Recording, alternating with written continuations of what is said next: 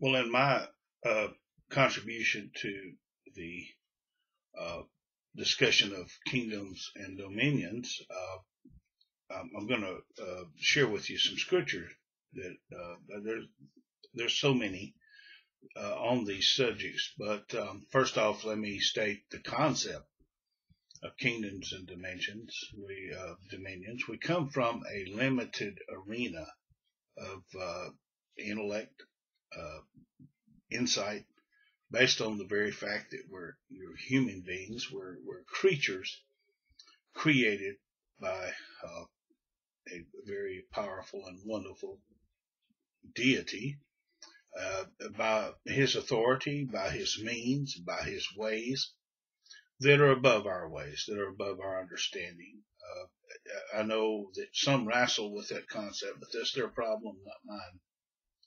Uh, I am thankful that that some of us are able to come to the place as believers to where we can accept that we are not at the top of the pyramid when it comes to ability, intelligence, and capability. And that recognizing there are those things which are above, or those things which are heavenly.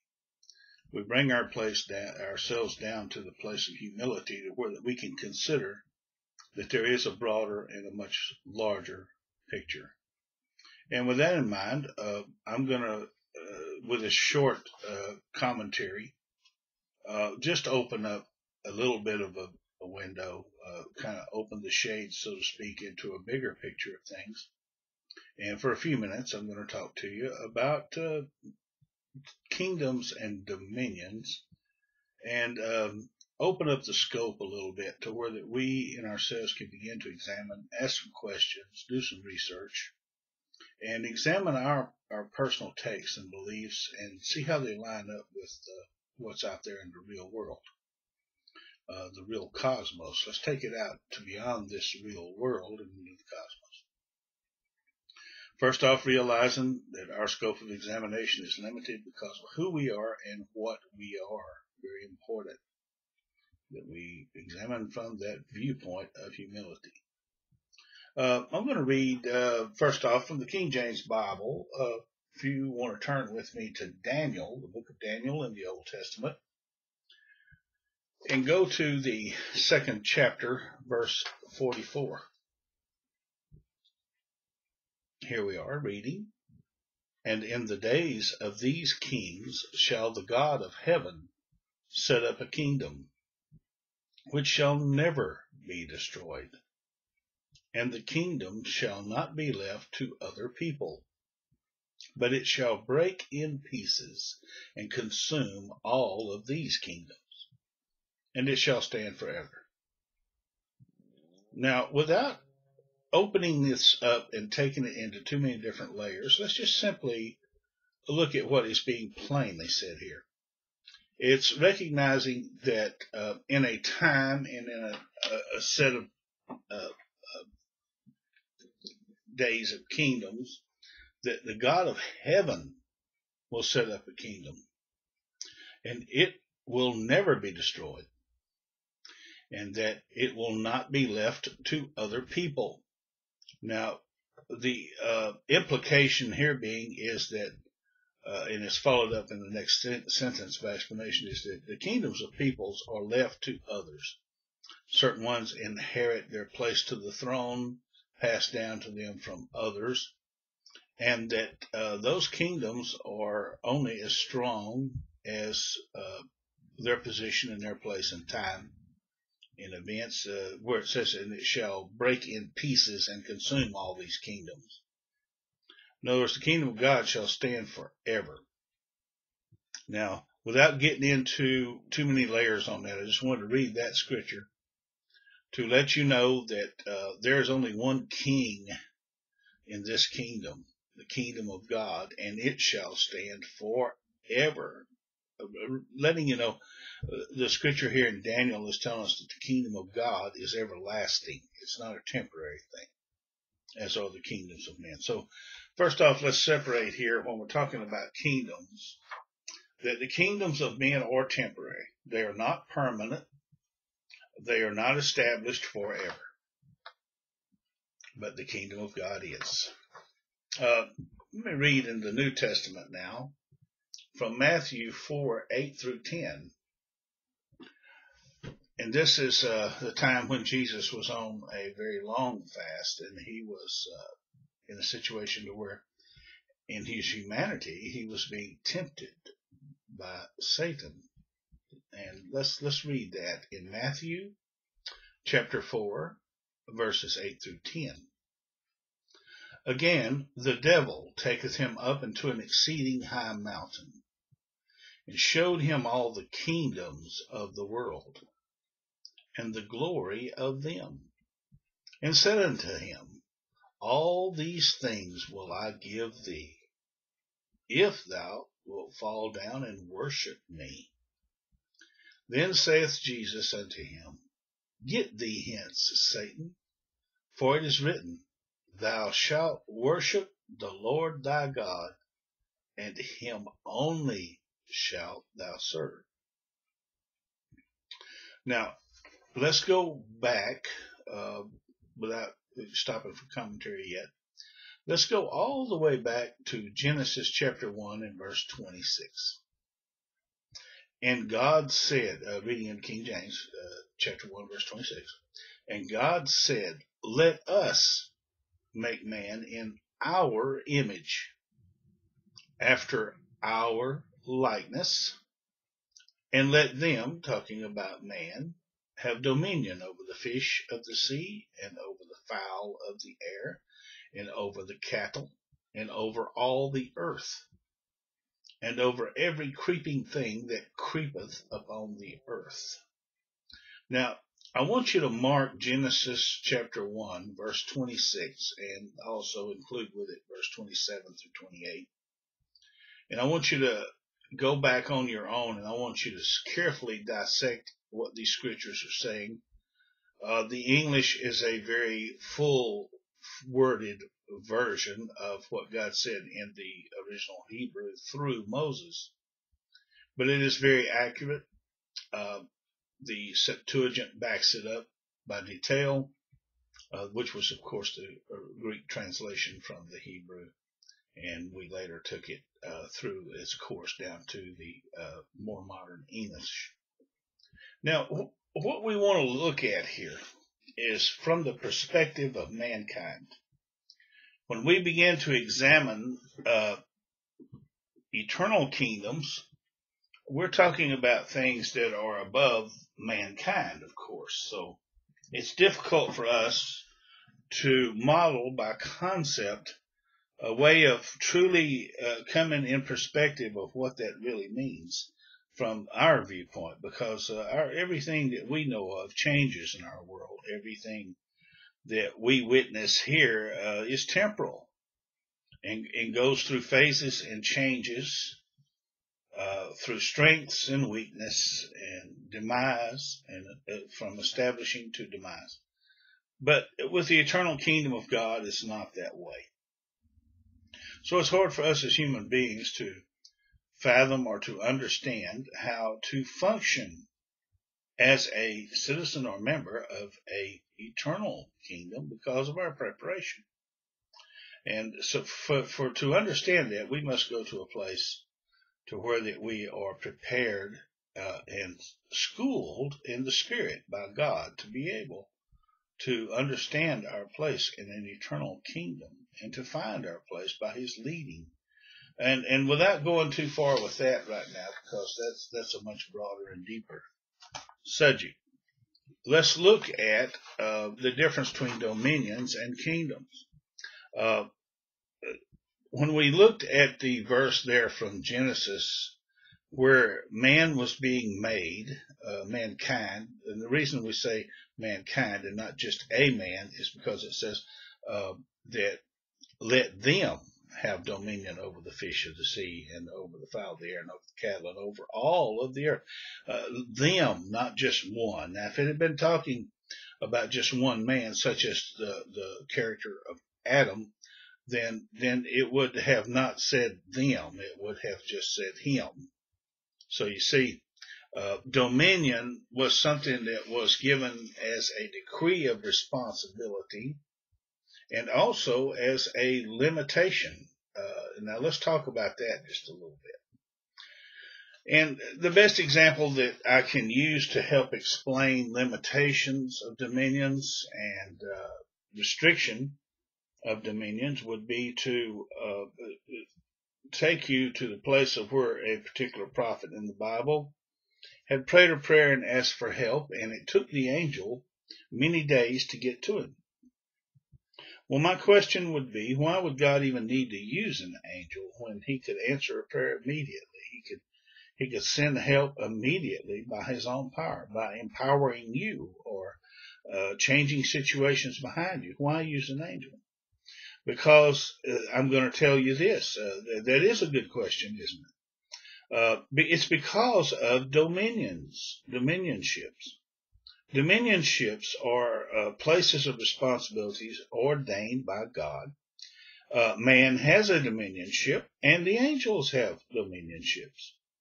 Uh, some might rank, uh, might measure this as ranks, uh, places of position, power, thrones. Uh, but we're not going to take it to that level. We're, we're going to look at it as though you were in the military. If, uh, and those of you who have been in the military or know anything at all, you know it all operates by rank and that lower ranks recognize the authority of higher ranks as being uh, able to issue an order.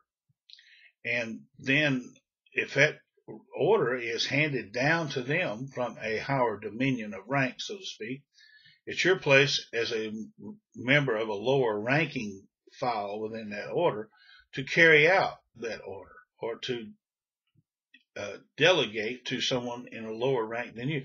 But the responsibility is carried with the order.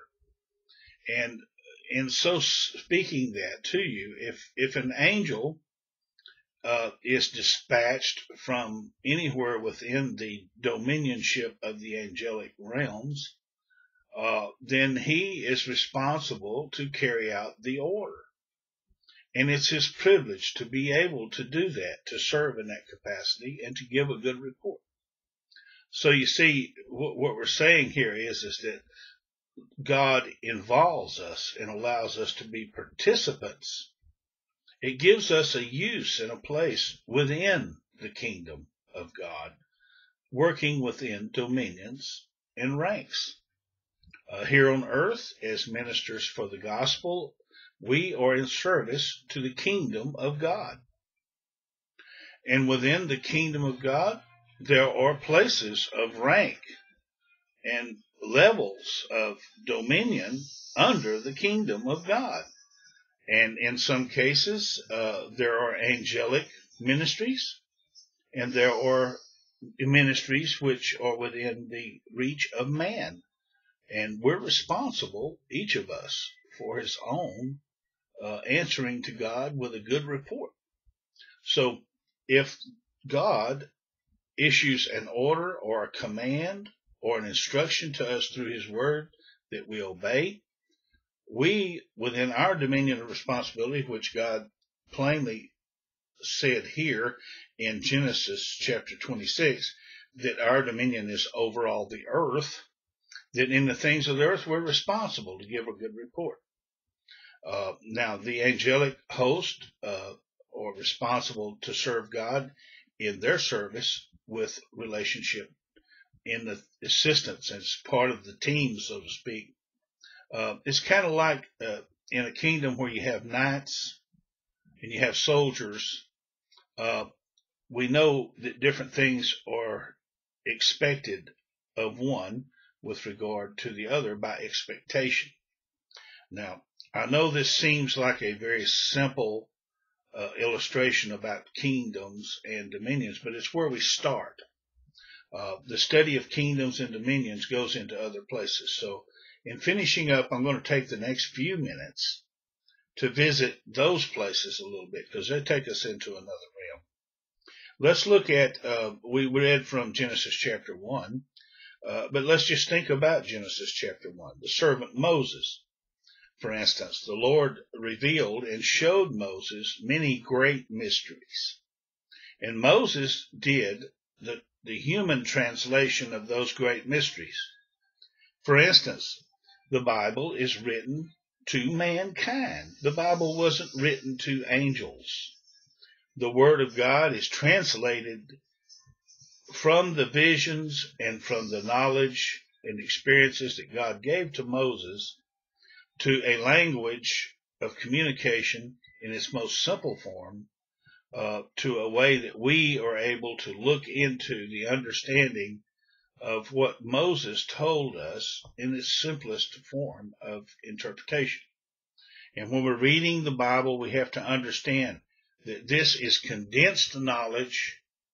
The Bible does not tell us everything, but it tells us very important things. Uh, God communicates to us through his written word, which were given to us through holy men as they wrote according to the anointing of the Holy Ghost, the Spirit, in the Bible. And that is the Lord including us, mankind, as ministers one to another. The Lord could just as easily take each one of us by audience and he could communicate to us individually all these things. But the Lord includes us in our calling. And when we're obedient, as Moses was and other writers, then the Lord will include us in our place within the dominionships. Now, also, you have local dominions, you have regional dominions, and you have cosmic levels of dominions. Uh, the earth is very local. The solar system is very local. We know now that when we look into the windows provided to us uh, through means such as the technology of the Hubble telescope, that the universe, the cosmos, is much larger than what we ever imagined it to be in the creations.